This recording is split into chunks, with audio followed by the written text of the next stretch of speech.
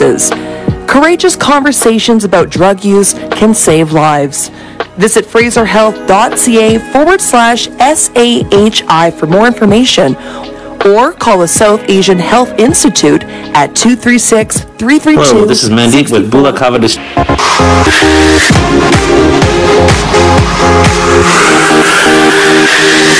In a world of technology, the future is online. Tune in to www.radiobulamasi.com. Radiobulamasi.com.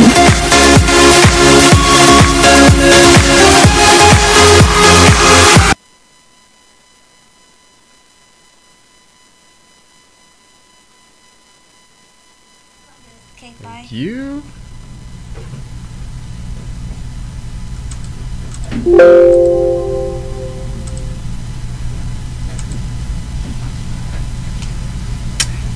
Feel free.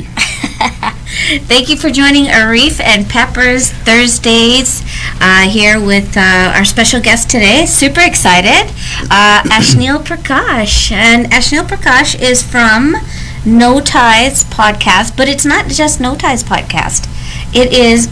Is it 1862, 1962, Bro, you just throwing out dates. 1762? Just throwing out dates. Just throwing out dates. Just throwing out dates. Yeah, that's right. So why don't we let Ashley tell us what it is? Yes, absolutely. I am from a podcast called No Ties 1879. Yes. 1879. 1879, yes. And uh, if you can break down the significance of the title. So, No Ties kind of refers to how we are not really tied to any one place. Uh, we are South Indian, Fijian, and Canadian. So, we're not really from any of these nations. I mean, I, sl- I, I like to tell people I sleep in Canada. I was born in Fiji, and my blood came from uh, South India, right? So, Yeah. I mean, when people ask what I'm, where I'm from, that's what I tell them normally, Uh-huh. right? And the 1879 part came from uh, the year in which the first boats arrived Nice. Fiji from South India. So, so this is news to me. So you were born in Fiji. I was born in Fiji, yeah, but That I was a little bit news lived for me there too. for Yeah. the first six months of my life, and then my parents moved here. So you were you were a baby when you were Yeah. out. Yeah, Right. So where where in Fiji were you born? Suva. Ah, it's a Suva boy. Ah, that's Suva where my dad's baby. From. My Ah. dad's from Suva, and my mom's from Rakiraki. Oh, nice. Oh, see, we got a little bit of Rakiraki. I have Rakiraki ties too. My mom's from Rakiraki. Yeah. All I know is my mom's from Suva, my dad's from Ba, Yeah, and uh, all I heard growing up was that Ba was like the village, yeah. and Suva was like the city where that was kind of modernized, and they had like running water and electricity and all that other stuff. But um, what's up? Switch. Switch. So yeah, so I, I've heard a lot of different things about um, Fiji growing up, as far as what uh, what was considered the modern side and not the modern side, and um, it feels a little weird talking to people about it now because it's such a different place from the mm-hmm. things that I heard growing up. Now it's like a tourist resort, mm-hmm. and we got Fiji water, and we got all these different mm-hmm. things. Um, and I always wondered how does Fiji have Fiji water? Well, it does have the plant there, but I think they've actually sold the rights to someone in LA now. So I think it's now no longer really authentic Fiji water. So now it's just like a processing plant that, That- has. Yeah, Fiji water. you can go there and check it out. You can take pictures in front of the plant. I don't know if they actually process any Fiji water there. Um, I really don't have the answer to that. But they're an island. How, how do you get water on an island Good question. surrounded by ocean? Yeah, well, Aquifers, probably. Fiji got aquifers? I would assume Yeah. so. yeah, I, I would assume that's where the water comes from. yeah. Fresh water. Yeah, fresh water. Oh, yeah, 'Cause it there's- would have to come from aquifers. Yeah, because there's a lot of great minerals in Yeah. Fiji water, and that's why people love to drink the Fiji It's water. got Yeah, volcanic. yeah, stuff. I gotta look into this a little bit more. I, I, yeah. Seems I, mean. I I don't I don't know what the difference is between the water here. We have the cleanest, best water here in Vancouver, you We have the right minerals that make you so beautiful. Just throw a scoop of uh, Himalayan salt in every glass of water, you'll be fine.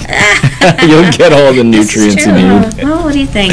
Well, I actually I actually like the identity way, the way that you uh, introduce yourself as far as your identity or lack Yes. of Yeah. identity goes. Mm-hmm. Um, if you, you know, we say we're Canadian. Yeah. We we kind of regurgitate the national anthem that we've been taught. Mm-hmm. Yeah. Um, it doesn't really hold any value or any meaning for us. Mm-hmm. What? Where do you find your identity? If you had to pick, where do you find your identity? if out of the three things, I honestly take a little bit from each thing, but mm-hmm. I mean, if I had to say I'm one of those things, I mean, I grew up in Ladner. I like, you know, horses and farms, and I like fishing and Yeah. boats, and I like, you know, that sort guy of stuff. thing. Yeah, yeah, you know, like I like I, I wear Carhartt pants and Yeah. a Carhartt sweater in the winter and steel toe boots, and you know, like that's.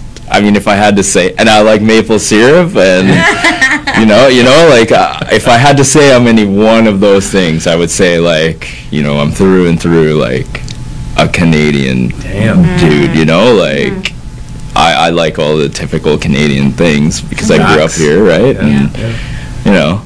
I'm a little bit partial to Tim Hortons. Not sure how Canadian that is, and you know, I'm not such a diehard hockey fan, right? I'm a little bit blasphemous in that way as far as being a Canadian boy goes, but uh, yeah, Do you do you like lacrosse? yeah. I mean, it's huge in Ladner. Yeah. Uh, South Delta Rac- lacrosse is either you, you either work on a farm or you play lacrosse or hockey, right? So Yeah, that's been that's to that being in rink many Ladner. times. Yeah. Yeah. Yeah, we, we've had some conversations in the past, um, and I, I know your your take on some of this stuff as far as feeling like you belong in a community, Mm-hmm. and and for the most part, all of the likes that you described, mm, for the most part, in a brown community, would make you an outlier. Yeah, because it definitely you know, would. I, I grew up in East Van, surrounded by brown folk, and and talking about fishing and and Yeah. Carhartt and steel and all that, like what?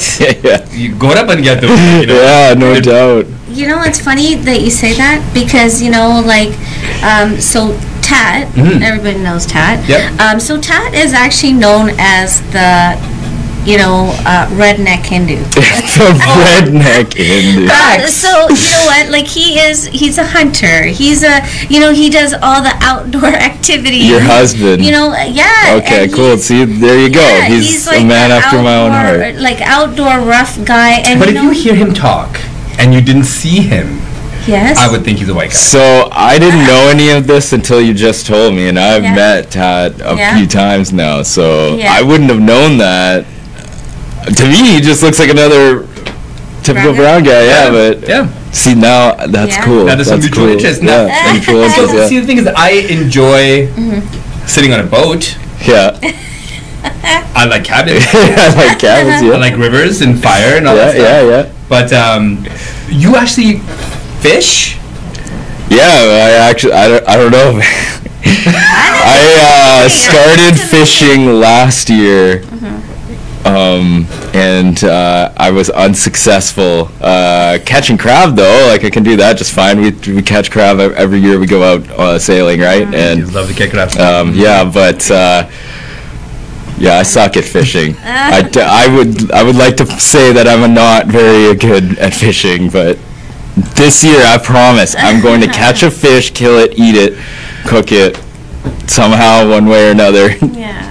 I will do it. So talking about all of this stuff, like Mm-hmm. all the things that you've picked up on, right, and and you've adapted to the Canadian way. hmm Now, when you first came, tell us a little bit about that story. Like, obviously, you're not going to be really remember the first little bit, but let's say you started going to school. Like, Yeah, how how hard was it for you to fit in? Like, tell us a little bit about your journey. it was pretty difficult, I would say, to fit in because I didn't really know how to fit in. Really, uh, I was kind of a weird kid growing up. Um, everybody says that I was like cute and happy and da da da da, but I, I mean, looking back on it now, I always remember always feeling this baseline anxiety all the time, mm-hmm. and always being like knowing that I was different, right? Mm-hmm. Like Ladner has changed a lot mm-hmm. now from before, right? And it's a great place to live. I love it. Wouldn't live anywhere else, to be honest. Um, but back then, like seeing a brown like I was the only one, right? And there was mm-hmm. maybe one or two East Indian families, right?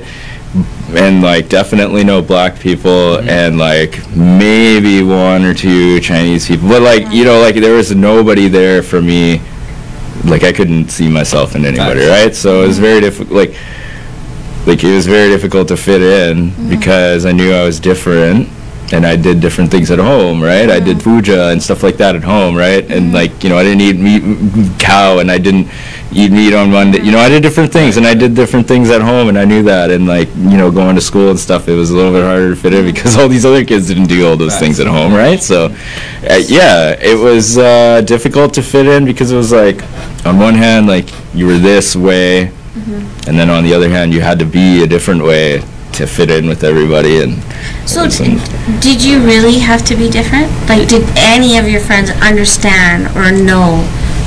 Like, did you try to explain at any point, like, you know, this is my culture, this is what we do? They make Yeah. fun of you? Yeah, I mean, some people knew. Some people were okay with, you know, they were just like you, you are you who you are.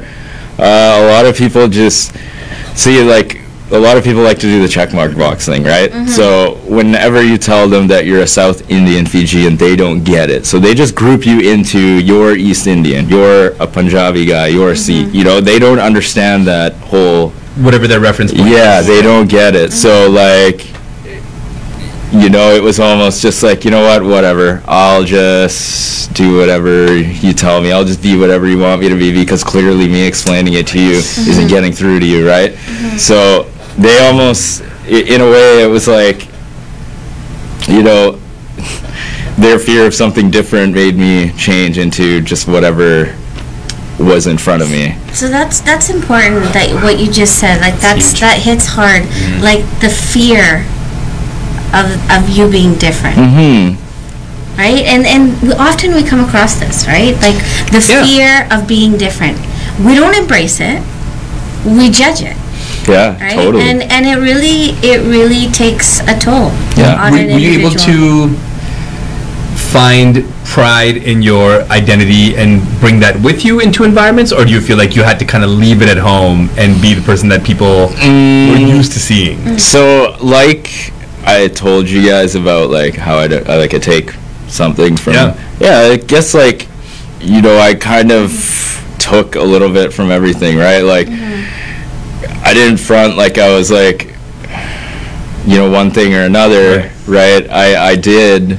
You know, at 15 years old, I had an Om tattooed on my my forearm, right? Or you know, so everybody. That's. I mean, I mean, it was on display for everybody to see. My mm-hmm. Om on my necklace was on display for everybody to see. So like, yeah, I was what everybody wanted me to be, and what I thought everybody wanted me to be. Right. But then also, I was like, you know, a brown guy who you know is wearing the symbols and like you know uh, still kind of projecting that image of being you know a brown guy while also So the om and the necklace and all of those things. I mean, what does that mean to you now? honestly now it just like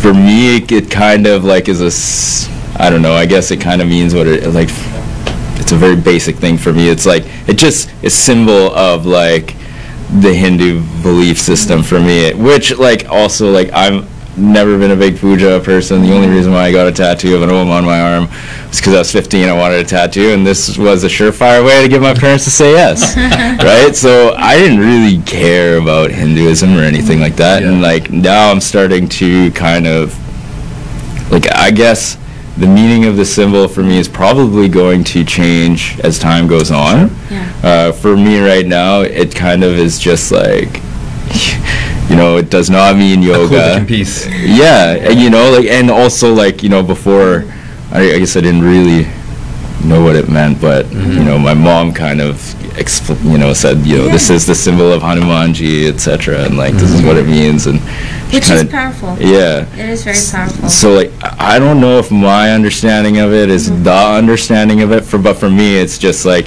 it means Hinduism and it has an association to Hanumanji Yep. and the whole story of him in the mountain and the plant, right? Mm-hmm. That Um, represents yeah, yeah, yeah. So and uh, resilience. yeah, And I I was just gonna say like- changing, Yeah. constantly changing, And right? I, kind of feel like you are. You are that. You are that symbol, right?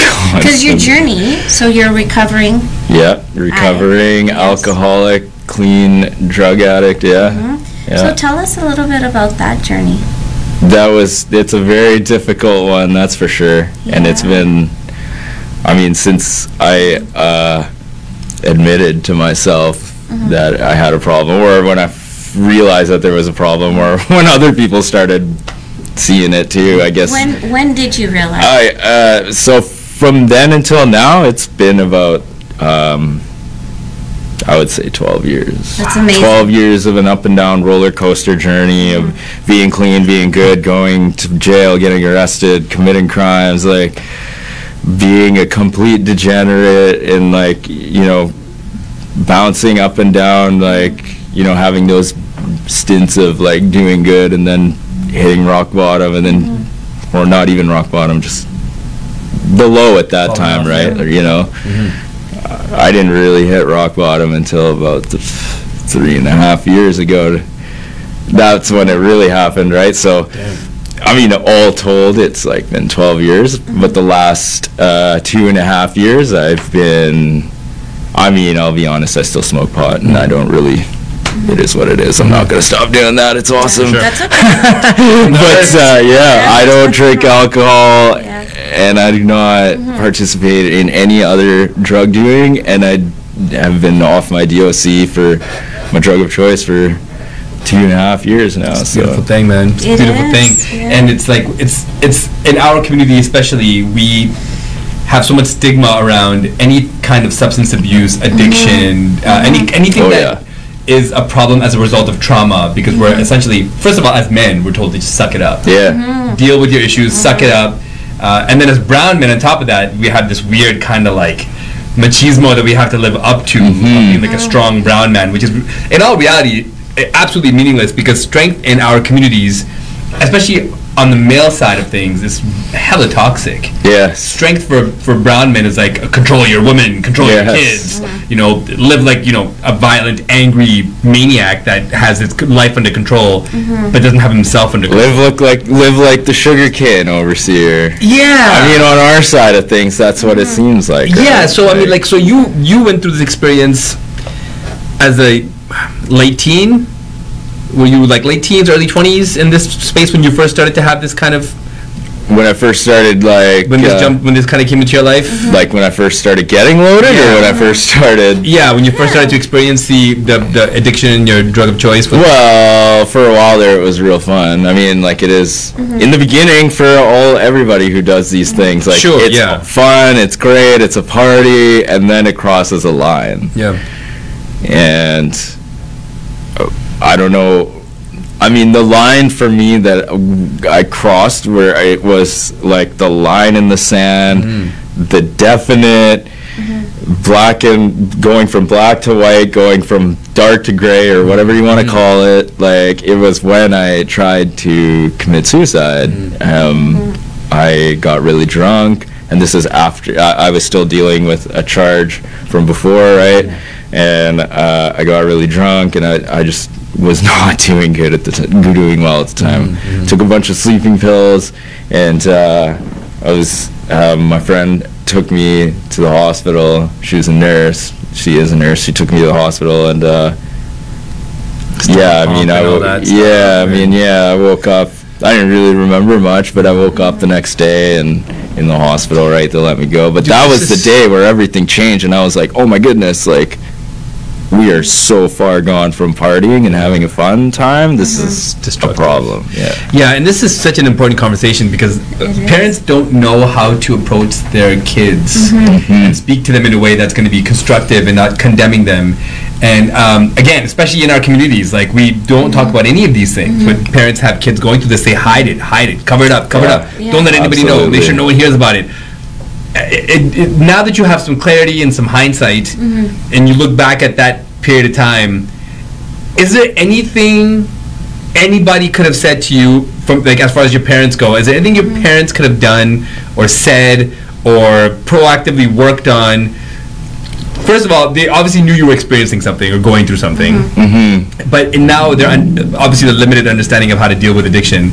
Is there anything that they could have done to stem it earlier, or do you think you had to go through all of those things to get to where you are? Oh, definitely. Like, so I mean, hindsight's twenty twenty, right? Like, I mean, I can, I know all the things now. Because you're, know. you're, you're talking to parents and kids yeah, right now. Yeah. So for parents hearing this that know their kids are going through something, Yeah.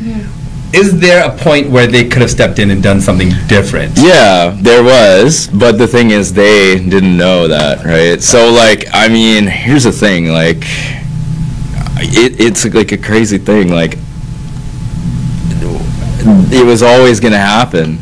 No matter how you slice it, I was always gonna be this way. And like I said, hindsight's twenty twenty, and I know all the things. I know about generational trauma. I know mm-hmm. about systemic trauma. I know about mm-hmm. PTS. I know about all the things now, right? Yeah, yeah. So now I can look back and say, well, mom and dad could have done these things and these things and these things, mm-hmm. but would I be here right now? No, not at all. And honestly, like I for a long time was just like, man, this is stupid. Like I didn't. This is happening for no reason. And I'm talking about after my last charge. I would always say like, if this and that and the other thing didn't go wrong, I would have been fine right now. But would I be here doing these things, talking to these people, having these conversations? Like I wouldn't at all. Yeah. So in the in you know, it's a weird thing. Like yeah, there was a lot they could have done different, a lot. But uh, I, I went through it, and I'm glad I did.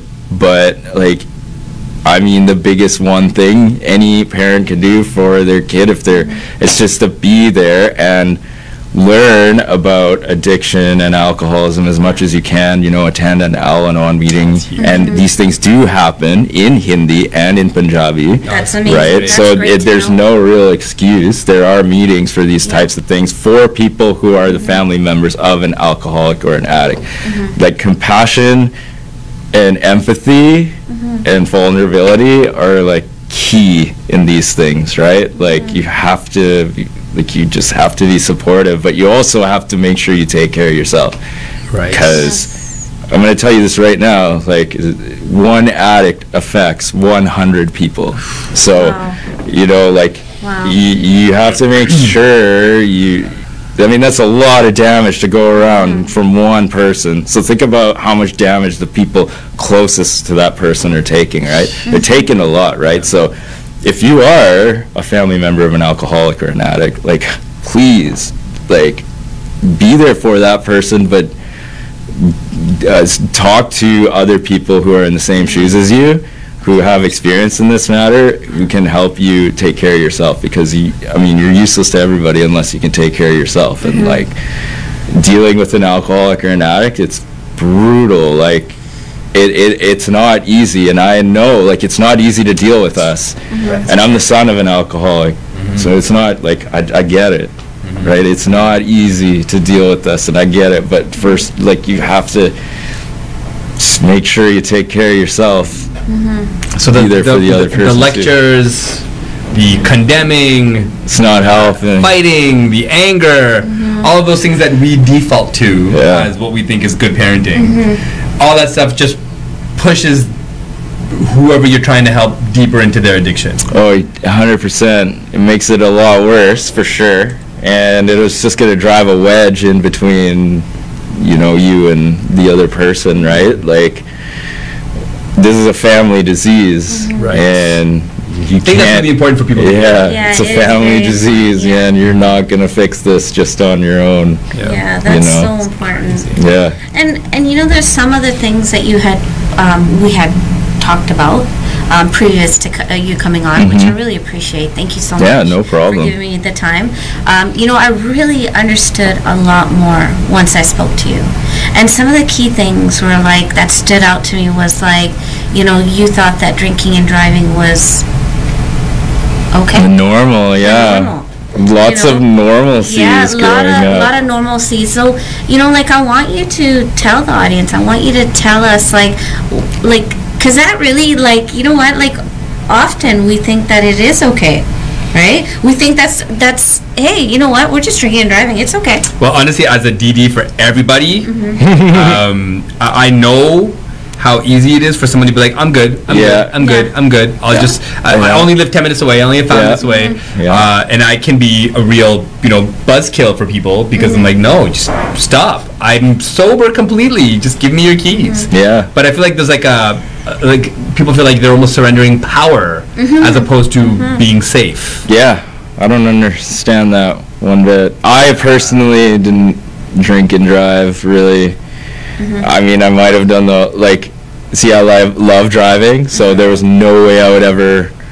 Because you're a real gearhead. Yeah, like there's yeah, that's the other thing to add on to the Canadian boy thing. Like I love motorsports. Um, yeah, like I like so there's no way I would ever risk like losing my car, right? And like the only times I have is because I was driving too fast. So anyways, um, there's no way I and the only times I ever did it was because it was like, oh, I just had this beer, I'm at this brewery, I need to drive my car home so I can drink more and do drugs. Like that was my thought process. Like take your car home so you can get loaded more, right? So I have a sense never responsibility. Yeah, dude. I lo- okay. So here's the thing.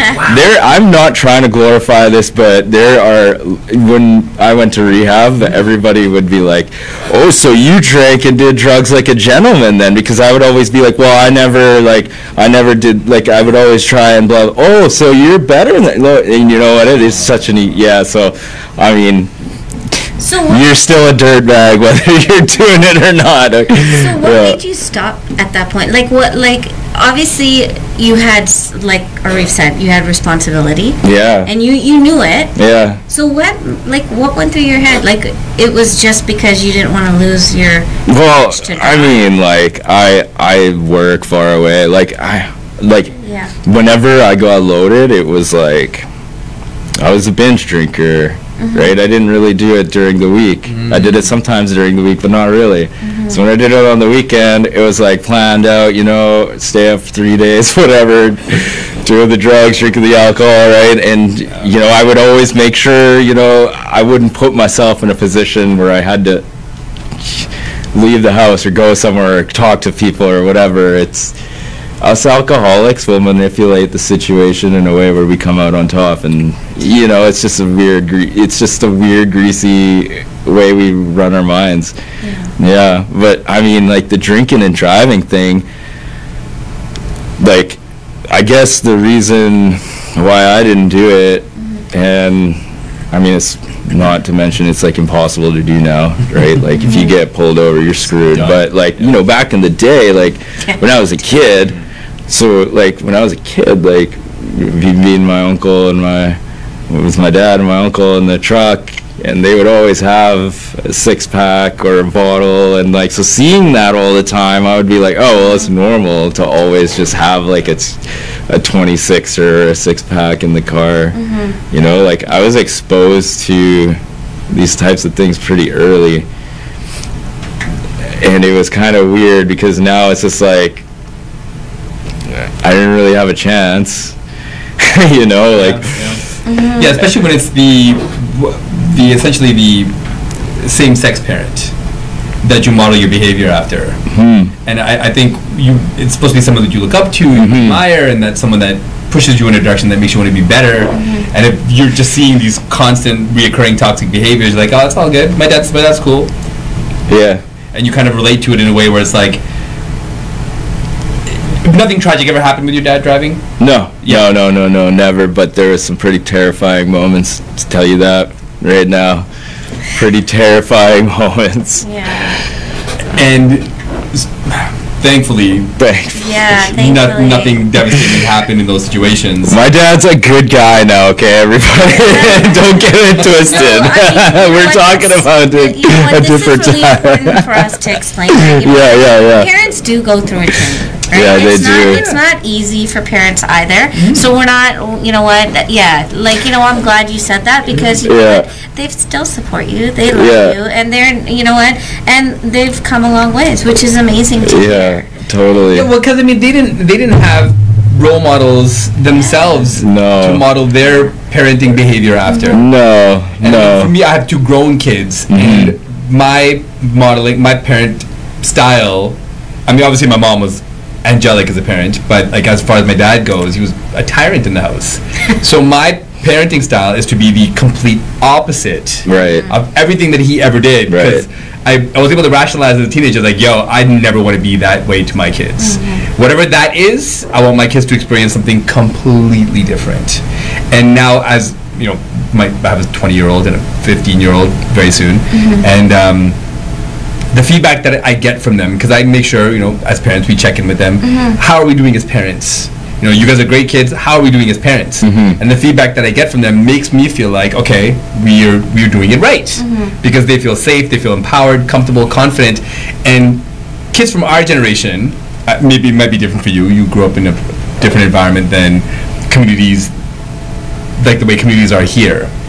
And um, Very different. yeah, and I find that you know Different when you include religion and trauma and all these things, and kind of give everyone the same blueprint to say this is the only way to raise your kids right. Mm-hmm. Almost the entirety of my generation feels like they have to be parents the way their parents were parents, and they just gonna they just keep adding to the cycle of trauma, and eventually those kids are just not gonna want to have kids. It's like, well, this world sucks. I'm always mad. I'm always upset. I don't want my I don't want kids to feel that way because we're kind of. I feel like we're in a, a generation of of a time now where people are able to be a lot more free as far as how they can represent themselves mm-hmm. individually, and like you know.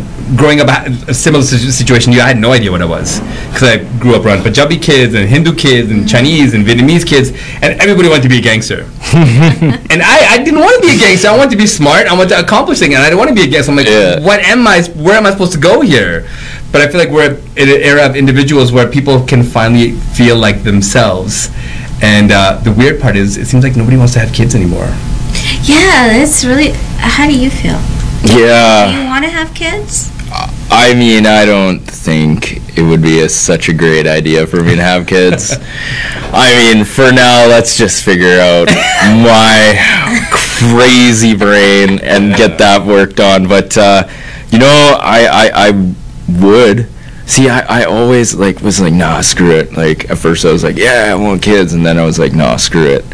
And then I saw this video on TikTok. Okay, with this little little kid, like like tiny kid wearing like Ca- Carhartt coveralls, and he's sitting there with a board in front of him, and there's his na- and his dad gives him a hammer and a nail, and the kid takes the nail and the hammer and tacks the nail into the board and takes the hammer with both hands and starts banging the nail into the board. And I'm watching this video going oh my goodness that's why you guys do this.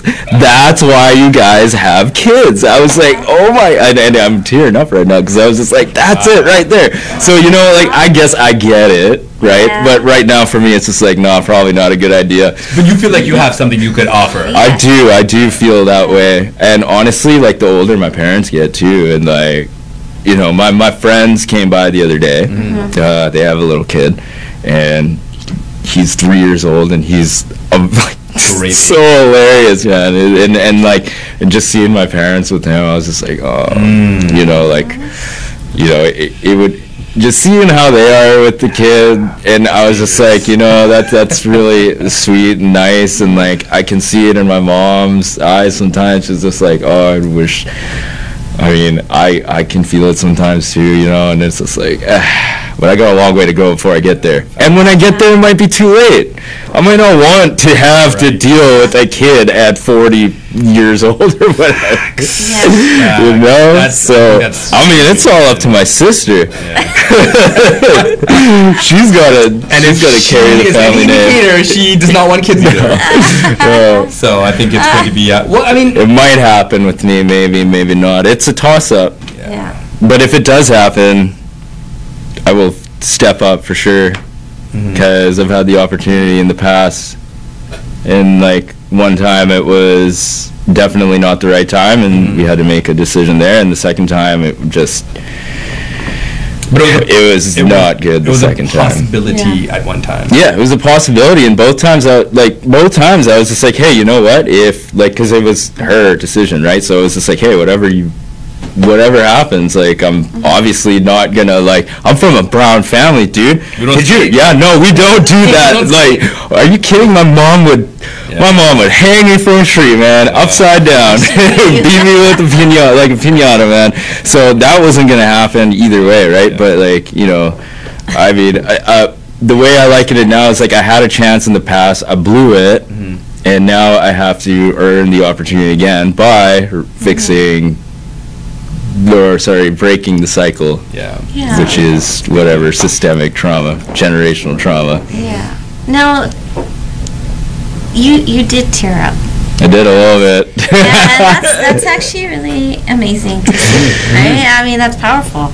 Like you know, you're showing emotions, which is amazing. Yeah. You know, and but you're also taking responsibility, knowing that you know what, right now is not the time. Mm-hmm. But there is there is something there that you Yeah. want to give, right?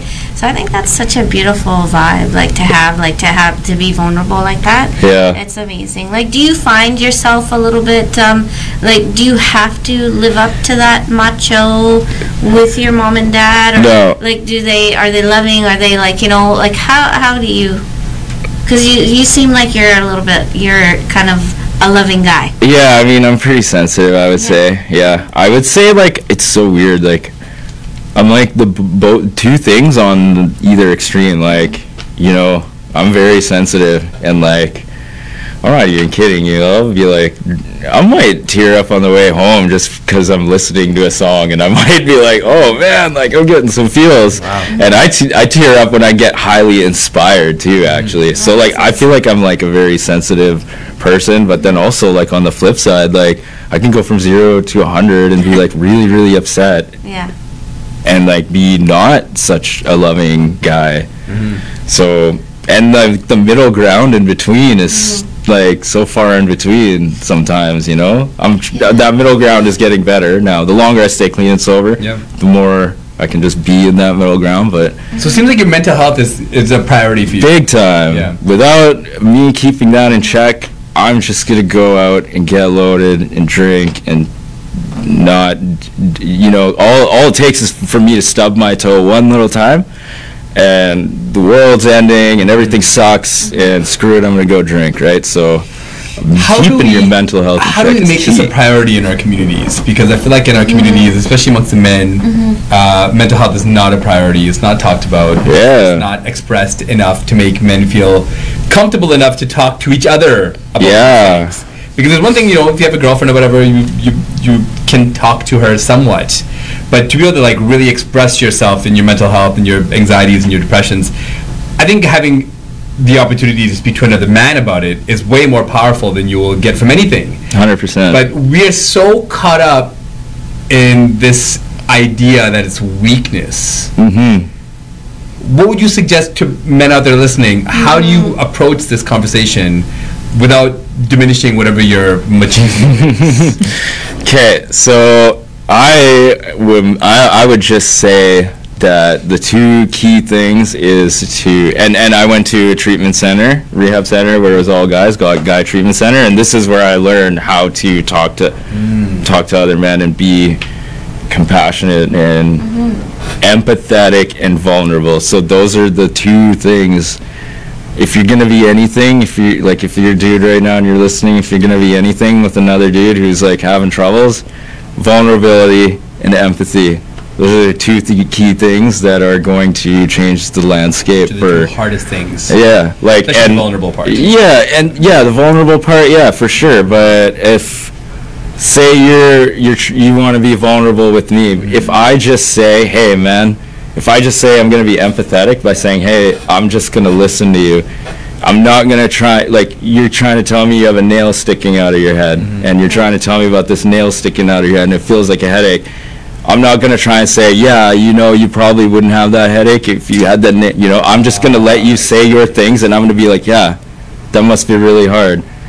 Hearing that, hearing somebody say, yeah, that's very difficult, or empathizing with you in that way is a whole lot better than talking to somebody who just wants to say their piece after you're done. Or try to fix whatever. Yeah, Oh. and I meet a lot of people like that who think they're being empathetic and think they're being a good listener and think they're being helpful, and they're actually just toxic, toxic people who just like it's it's just I don't go and talk to those people anymore. Actually, so like you know, like like I say, don't go to a Home Depot when your car is broken, right?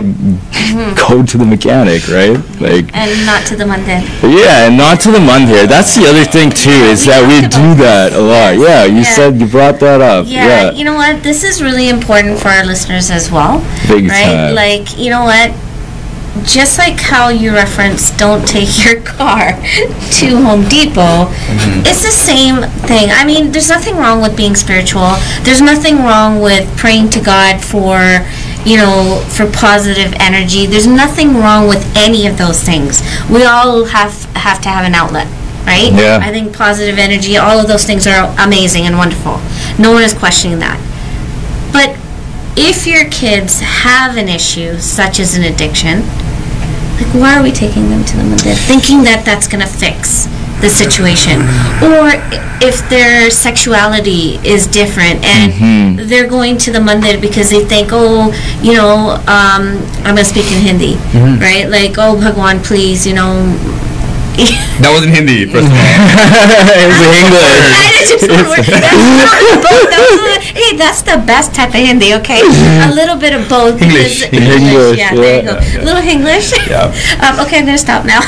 no, I mean, 'cause- and, and, and it goes for all faiths, not just Yes. Hindu, It- Hi- no, it's not Hinduism just as well. Hinduism, In no. Islam, we do the same thing. You Yeah. know, um, We someone's do, we going through to addiction. Oh, call the imam. Like, Yeah. And Yeah, I mean, how many exorcisms Oh, could have just been, Yeah. You know? Oh man. I mean, I love believing in that stuff. There are some legit exorcisms, but come on, oh, man! Like, Yeah. how many times have ju- has it just been somebody with mental health issues, and it's just been like, oh, they're End of bewitched. yeah, yeah. We, well, we've talked about some, one specific situation. yeah, So you have psoriasis. yeah. And so you had mentioned that your mom, Yeah. like, had like given. Bless her heart. Yeah, Yeah, bless yeah, her heart. bless her you know what? heart. I love moms that are like this. Yeah, okay? yeah. So yes, bless her heart because my, uh, actually my mom would never. Um, she's hardcore. She's like the male. Right, like she's yeah, she wouldn't probably, but but I know my fuas would because my fuas are that that person. Mm-hmm. Yeah, beta lao, gel pilo, like you know, that's just gonna make you clear everything out of your system, right? That kind of stuff scares me because I don't know where that came from. bad. It's Yeah. bad, yeah. Yeah. So things like that, like okay, so y- your mom, bless her heart, I Yeah. mean, she really thought that this was gonna help you, but it actually made your condition. I mean, it didn't really do anything at all. it didn't do anything. it didn't do anything at all. But I mean, like you know, I only did it. Bec- well, I mean, like I'm also trying to get a little bit closer to my culture. So I mean, I'm gonna. Hmm. I mean, if mom's taking me to Mandir and Yeah. showing me things, I'm gonna, I'm gonna, I'm gonna do it just because I'm gonna do it, right? But then I know that this is a medical issue, and this isn't going to, like, you know, putting whatever on my skin isn't going to be the answer. Like, I know what I need, and that is a biological injection that I take once a month. Mm-hmm. That is the only thing that's taken it away, mm-hmm. not puja and mandir. But adding a little extra juice, I'm okay with that. But I mean, Yeah. yeah, like you can't, like you can't just be like, oh, okay, you're whatever we're gonna go to the temple now. Like, no, please go to the doctor. Doctors. right? I They're mean, there for at the very least, if you live in can I mean, not even. People have smartphones. Everybody has access to WebMD. Come on, man.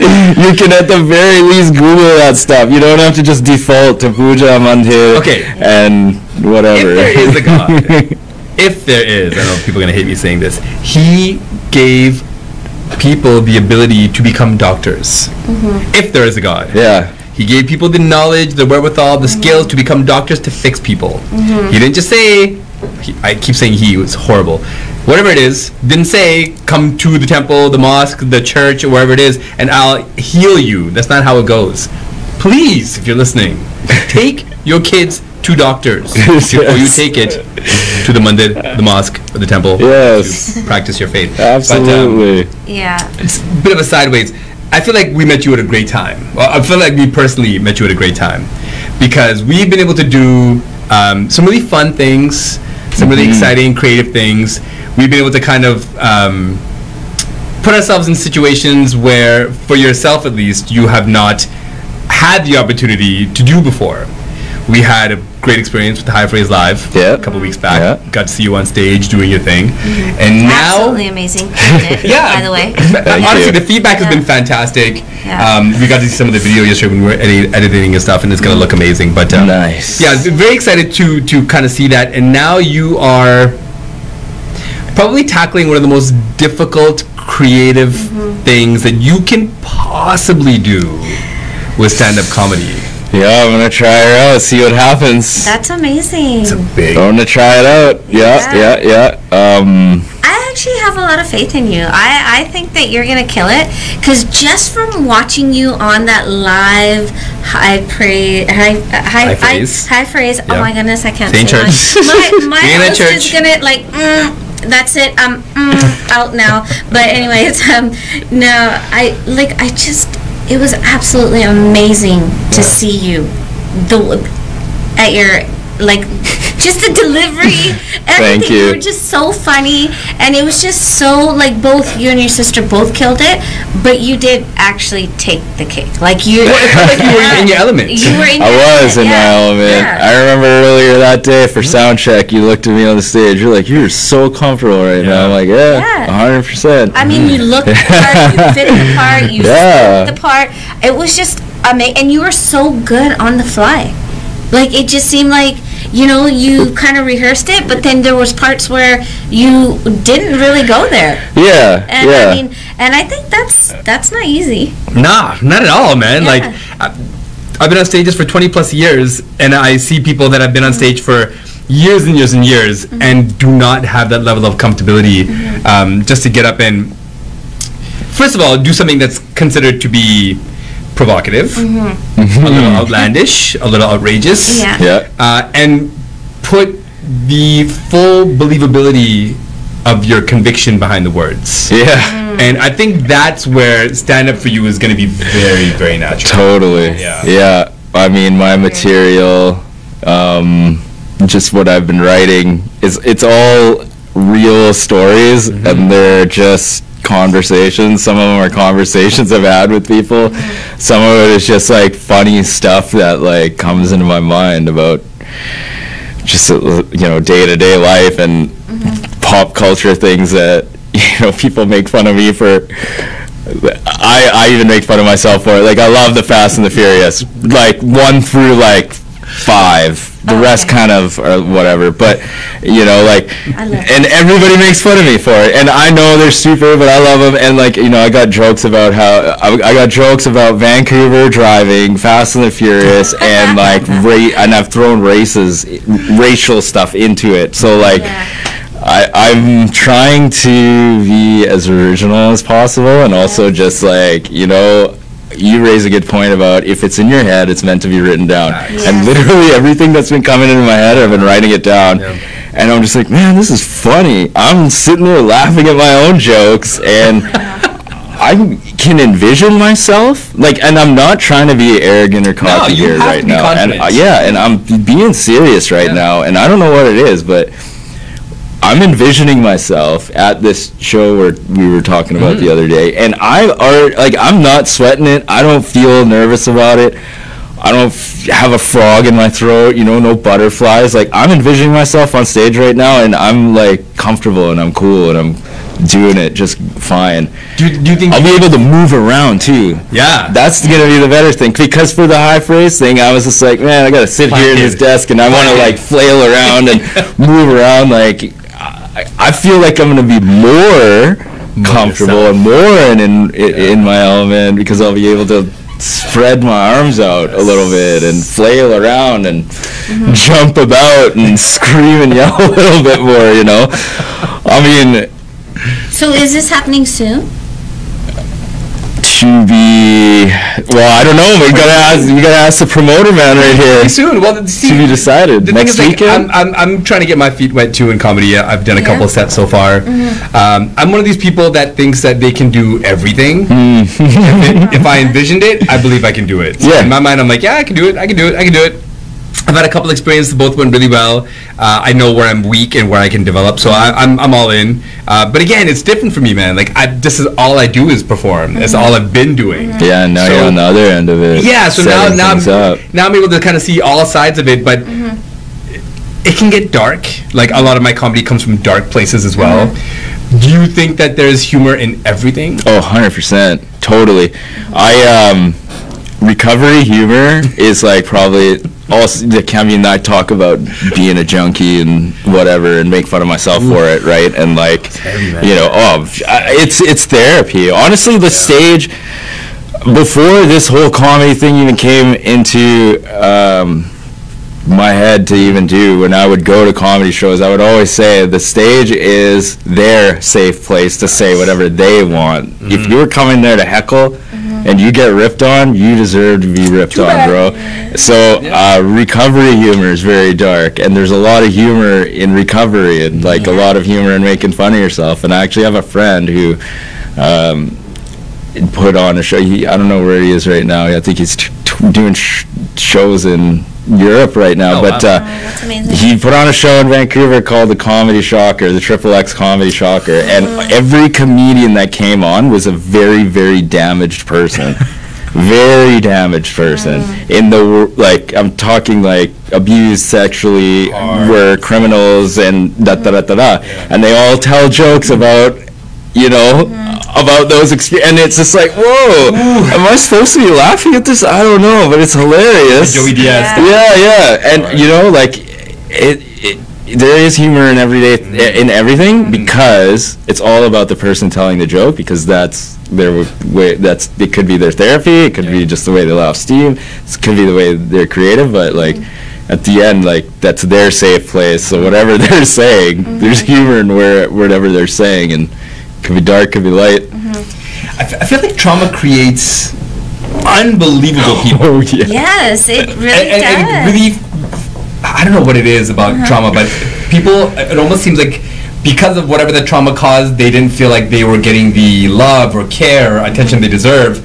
And when they come out of it, it's almost like now everyone's gonna care about me, everyone's gonna love me, everyone's gonna see me, Mm-hmm. everyone's gonna feel me, and that results in like some of the most talented people on the planet that come Yeah. from the most Mm-hmm. darkest places, man. Yeah. So- I think it's got to do with like them also previously being in the gutter and being in like you know the dark and the terrible places. It's just like Nothing can be. no, yeah, nothing can be worse than this. Like I, I honestly like I'm glad that I went through all that addiction and all that stuff because like I mean, again, I'm gonna sound really arrogant and cocky when I say this, but I feel like I'm invincible.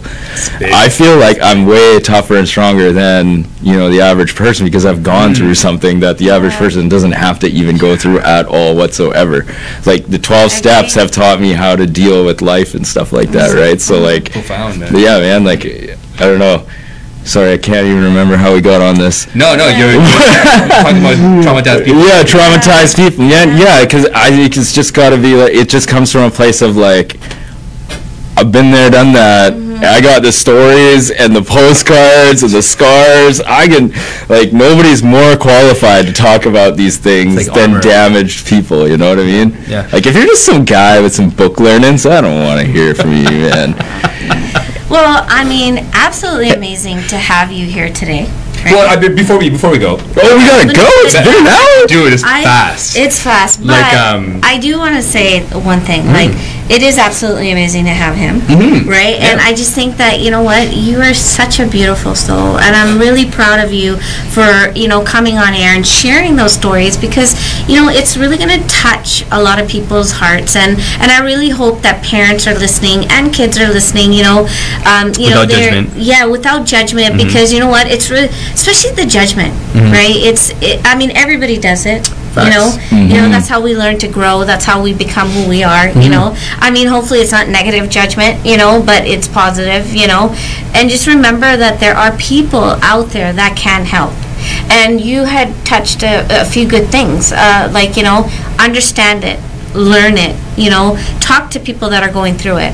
You know, and and just make sure that the individual going through it is capable of of taking care of themselves, Yeah. right? That's the biggest thing, Mhm. right? Mhm. So those are some of the things that I am really proud that you're sharing with us, and you know, and and you're being vulnerable, and you know, you're putting out information there that you know I'm sure is.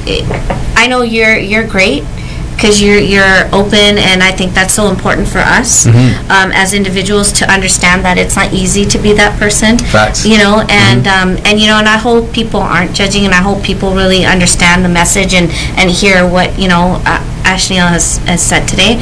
You know, I really am proud and really thankful for you to come on. Thank you. And share your story with us. Thank you. Thank you for having me on. But yeah, just just quickly back to, back to the comedy because uh, Oh, yeah, we we experienced this past weekend one of the most ridiculous incidents. Yes. Oh my goodness. In the history of mainstream television, in the history of mainstream wherever we are right now, Yeah. one of the most outrageous things I personally have ever seen in my life, because if, That I mean, everybody is if you're under a rock, Chris Rock himself. One of the, to me personally, one of the greatest comic minds to exist on the planet. Mm-hmm. Top five that are alive. One of the best joke writers. One of the best joke Yeah. creators. One of the best Mm-hmm. presenters of jokes. Yeah. And one of the most savage Hundred percent. all comics. Oh yeah. You know if he's a host, and if you're in the front row, you are You're gonna get getting ripped hit. on. and you're gonna get hit hard. Yeah. The opinions vary all over the place. Obviously, everybody loves Will Smith. I'm a huge Will Smith fan. Mm-hmm. One of the reasons I ever wanted to be an entertainer is because of the Fresh Prince, because he's so fly and out there, and Mm-hmm. all the things that he does to me have been incredible. Mm-hmm. Uh, I just saw King Richard, almost teared up multiple times in the movie. He's phenomenal talent. I was very disappointed in the way he reacted. Definitely. Yeah. Very I was quite disappointed. surprised that he reacted. First of all, a slap Yeah. was the most degrading thing you could do to somebody. Yeah. It would have felt better to me if he punched him in the face, because at least it's kind of a man-to-man thing. Yeah. But the slap, and then for him to yell. yeah, you know the I guy that doesn't swear, and you're like, keep my wife's name out your mouth into the Yeah. nonsense. And you know what? Not only once, but twice. And you know what? God love, you know, Will Smith. love He's Yeah. got a problem with slapping people. This isn't the first time he's done it. This You is tried to kiss him. yeah, the guy who tried to kiss him backhanded him. You know, like this isn't the first time he's done this. And the beef that I have right now, I don't know if we have time real quick, but Yeah, yeah, we I'm do. taking a course right now because of my um, court mandated course. Right, I have to Yeah. take it.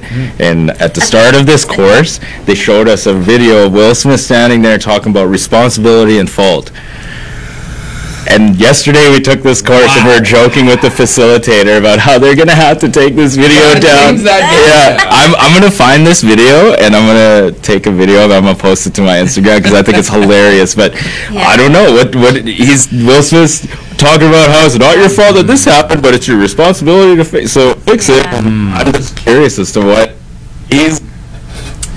I, what is Ob- his, obviously how he's gonna handle this? Obviously Yeah, I mean- down middle, you know, uh, Hey, man, underneath all it's of that. We all go through a lot. Yeah, we Um, do. and I don't think we can make excuses for people. And again, Will Smith is a human. He's he's he's not infallible. Mm-hmm. He's gonna have temper tantrums and reactions, Mm-hmm. and there's some things you can't blame people for. Mm-hmm. But physical violence against a comic, to me, especially a guy like Yeah. first of all, especially Chris Rock, who is like in the black community a comedy god Yeah. Mm-hmm. and legendary in his m content creation. And I've seen Will Smith at other award shows where Chris Rock was the host, belly laughing at Chris Rock humiliating people. Yeah. Mm-hmm. So uh, you can't be okay when it's dished out to other people, and then when it's to you, all of a sudden you want to act back. Because Will Smith's a big dude. Chris Rock's a skinny little guy. Like you smacking a little dude makes you look like a bully. To me, Yeah. that's chump Yeah. behavior. But I, I didn't bring it up so we could dive, deep dive into it because you are going to be putting yourself in these situations. Yeah. Yeah. Totally. You're going to be exposing parts of yourself that to other people are going to be offensive. Yeah. And to other people, they may have people that they lost to addiction, and they may have people that, um, you know, are still addicts, and you're going to be putting out content and material that may be offensive, may be hurtful, maybe putting people in a situation where like, oh, I don't want to hear about this. Have you already thought about these things going into it, or are you just prepared to take whatever comes your way? Eh, the people who have anything to say about me, I could tell you that you don't want to do that. you just don't. I will tear you apart on stage. Like I will just find a way to make fun of you. Like I, I just Yeah. d- don't. Like don't come. It's Yeah. not for you. Yes. I don't go to a KKK meeting going, "Hey, this isn't a safe place for me. Can you please make this more inclusive for me?" Like don't look. I'm gonna tell you. The best way to Yeah, I'm gonna tell you the story of an addict and an alcoholic, alcoholic through the eyes of an addict and an alcoholic, but through comedy. And Yeah. you know, like the people who've been there and done that are gonna laugh because they're gonna know. And even Right. if they don't, if they haven't experienced it, they'll laugh because they understand. Yeah, it. exactly. Everybody knows an addict. Yeah. Someone that has gone through it and come out of it. Yeah, but if you're gonna feel, s- don't come. Just don't. This is not for you. And I've already got a spiel that I'm gonna say before I perform. Disclaimer. Yeah. this is not a safe place for you. This is a safe place for me Yes. because the rest of the world, as far as I'm concerned, Right. has you know made it very clear that it's not a safe place for you. You know, so I I mean, you know, growing up in Ladner, it wasn't exactly a safe place for me all the time. So Yeah. If I, all I'm asking for is five minutes on stage for it to be a safe place for me, if you don't want to hear any of that stuff, don't come. Deal with if you do come and you do decide to say anything, please know that you will be an act in my next performance. right? Like, That's I, I think it's great. So, so Pepper, give you your flowers. I just want to say it for myself personally, um, growing up as a same situation as you, you know, parents are from Fiji, ancestors are from India, born in Canada.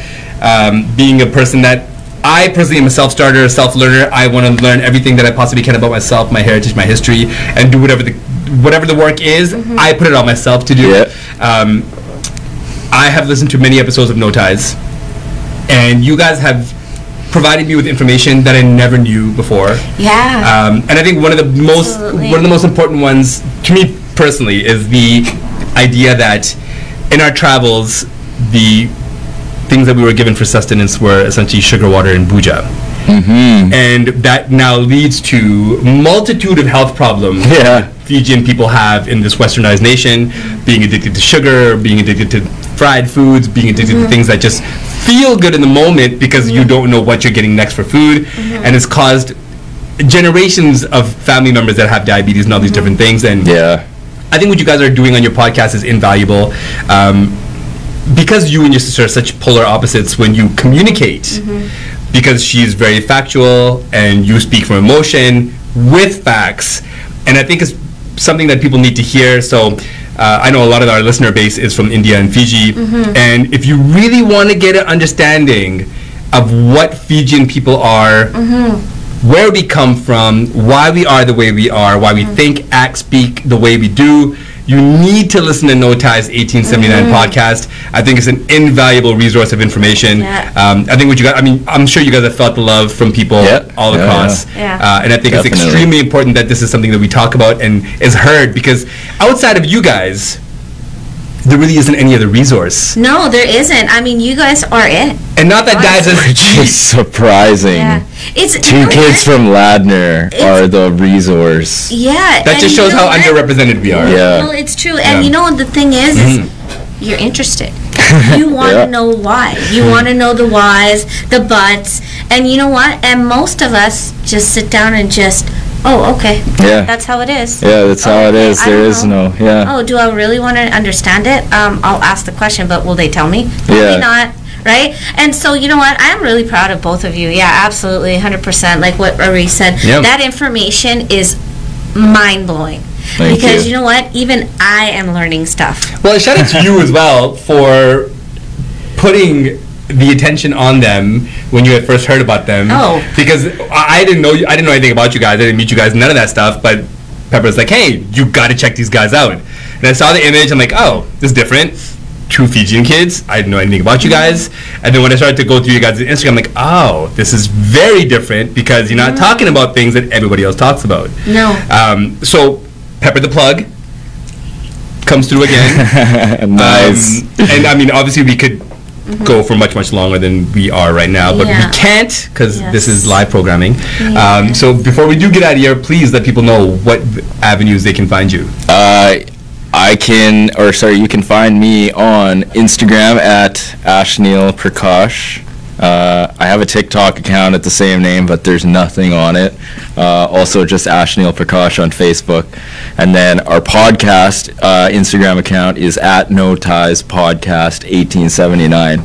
And same name on TikTok as well. It's great. It's Nice. great. And also, Ash, um, or can I call you Roger? Of course. of course. I didn't know your middle name was Rajan. It's not actually my middle name, bro. It is a name that my family calls me, Yeah. but it's not written on my birth certificate or anything. Yeah, yeah. I just have a first and last name, but the Rajan, that's like that's like my street name that Very you know, Bollywood. my all my Very family calls me. yeah. I love it. I You know what I'm saying? Yeah, You yeah. look like a Rajan to me too. He really does. You're just being racist. now. No, I'm not. Raja means Raj, right? He's a he's a king, and you are a king. So, Thank you. uh, you're welcome. I want to, if you can give any message, one message, to the listeners out there, that's going to deliver a punch. Well, what it? Please share.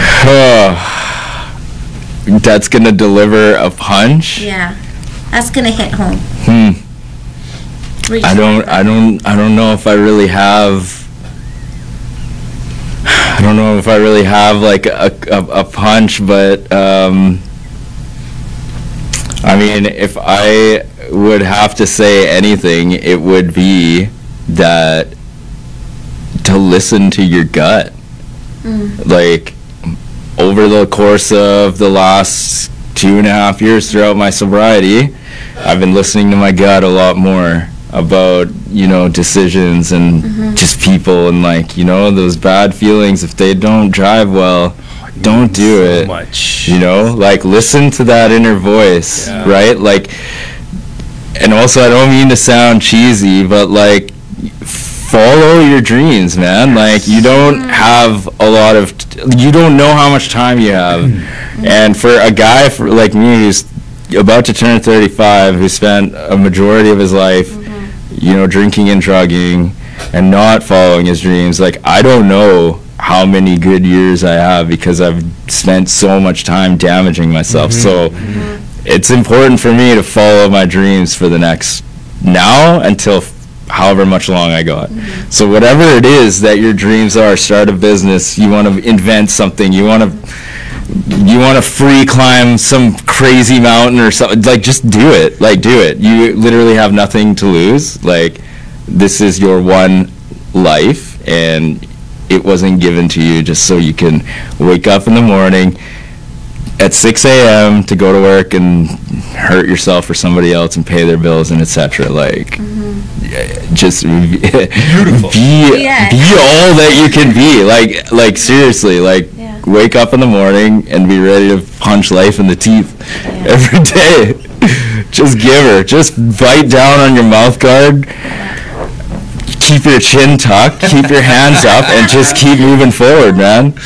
Well, there you have it. Uh, thank you so much, uh, Ashnil Prakash, for coming in from No Ties podcast. No Ties 1879. 1879.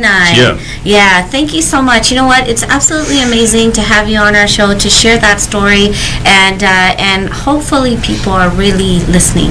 And once again, please do check out their podcast. Uh, it's it's absolutely amazing. Lots of great information. A lot of young individuals too will benefit from it. From the you know when your parents are like, "Leave me alone. I don't know the answer." Go to their podcast, and you know, and, And if you're on Instagram, they share some great posts. Y'all had a great Yes. post today about Yes. men. I, and again, I'd love to get into it more, but Absolutely, we're, I know that, that post was actually absolutely amazing Yeah. too. Yeah, I do like it. Um, I, I love everything that you guys are doing. You guys are both absolutely amazing. Uh, much love to you guys both. Uh, please, please keep progressing. Be safe, and you know. And where where are people finding you again? Uh, no, where are people finding you? Well, I, I wanted to say shout out to Aisha for providing Yes. this opportunity so we can really talk about things that aren't really mainstream radio Yes. news topics. Yeah, that's so right. we kind of just dive deep and do whatever we want, say whatever we Yeah. want, uh, and Aisha's just hands off, like yo, go do what you do. Yes. Because yeah, and it's been great because we don't really pull any punches or hold back. So shout out to Mm-hmm. Aisha, Radio Bula Masti, Dreams Asian TV, Shana TV, and Pepper the Plug. Pepper the Plug. You can reach me um, uh, on Instagram. Mm-hmm. And I, I have a really hard time sharing any of my information. I don't know why. Um, but uh, Pepper Prasad, simple social media, uh, TikTok. I'm on TikTok too. there you go. Please follow me. I only have 19 followers. Well, I'm a social media whore, so Yeah, you there you can find me everywhere that social media exists. You can find me. It's A L I T E. It's Elite. Uh, High Praise Podcast Season 3. We just did our first episode of Season 3 last week. Cannot wait to share it with you guys because we can go unfiltered. Uh, I'm a potty mouth, so I go in. Um, we talk about war. We talk about all kinds of nuts, nutty stuff. Um, shout out to Mike Olton as well for being a great partner in this in this game of ours. Yeah, Mike is great. But um, last thing before we go, uh, chances are if you get to see Ash Prakash on stage doing stand up, you will probably be seeing me doing stand up as well because I want to make sure we kind of do the, some of the same nights. Yeah. And if you choose to behave like Will Smith, so I'll let you know I've done some MMA training and I got Ash's back. so you And mess Pepper with Ash. Prasad, Pepper Prasad is boxing now. so- Oh yeah, that's right. She's boxing your now. It's not a one man team. Mess with one of us, mess with all of us. Yes, that's right. And I'm tire lifting too. So you. Oh, Some good nice. videos. Yeah, Some yeah, good videos. that's With that right. said, it's the Pepper and Arif Show. Thank you guys for listening. Thank Peace. you. Later, guys.